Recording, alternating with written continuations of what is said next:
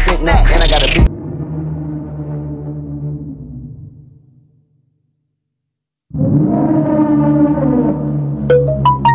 All right, I ran out of patience. Uh, I'm not finished.